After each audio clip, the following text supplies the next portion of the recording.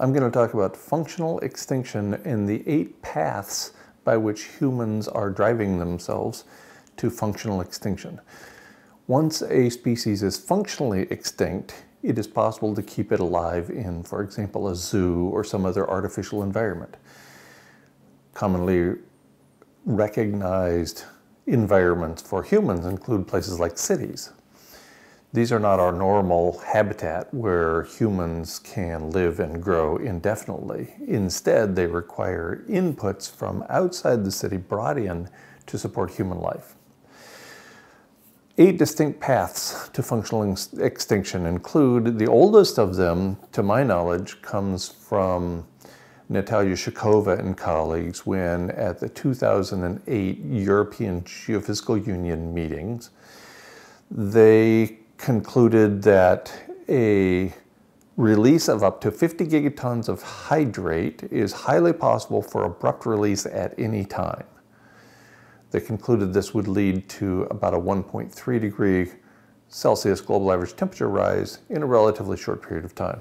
They did not say in the abstract or in Shakhova's presentation, they did not say that an ice-free Arctic was required for such a burst of methane. They said it's highly possible for abrupt release at any time.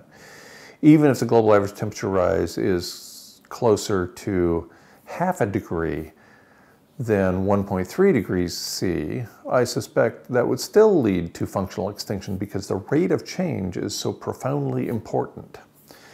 Second item, methane released from terrestrial permafrost not only from the relatively shallow seabed of the Arctic Ocean, but also from permafrost in the circumboreal region, has been measured up to more than 8,000 parts per million in Yamal, this based on a paper in Geosciences from the 23rd of November 2018.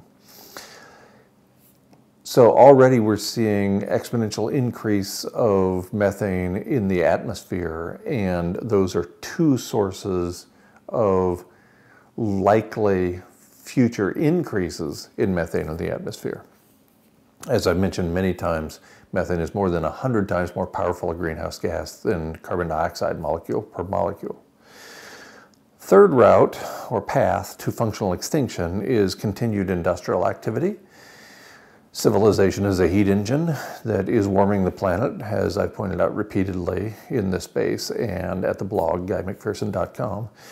In addition, decreased industrial activity, as little as 35% reduction in industrial activity could cause a one degree Celsius global average temperature rise that would take us well beyond the point at which we've ever had humans in the past. And the rate of that would rapidly exceed the ability of humans and most other organisms to keep up. So this paradox of increased industrial activity leading to extinction and decreased industrial activity leading to extinction has been termed the, the McPherson paradox by others. Fifth, there's a decline in grain harvest that would hamper the ability of this civilization to persist because this civilization like all of its predecessors, depends upon the ability to grow, store, and distribute grains at scale.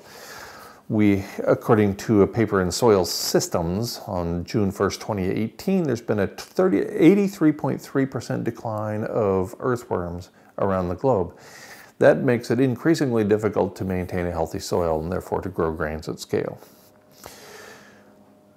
Sixth, an ice-free Arctic in 2016, plus or minus three years, as reported by Maslowski and colleagues in the 2012 issue of Annual Review of Earth and Planetary Sciences, and as summarized, the, the science for which the accelerating self-reinforcing feedback loops that would follow has been reported by as unusual a source as the president of Finland, going back to August of 2017 in a press conference with President Trump in the United States.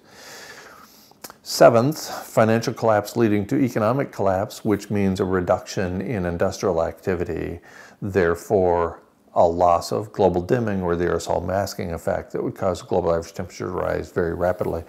And finally, there is the currently underway El Nino Southern Oscillation The ocean is a battery that stores carbon dioxide and heat, and during an El Nino Southern Oscillation event, that heat in the carbon dioxide is released from the ocean, causing the planet to warm up quite quickly, quite abruptly.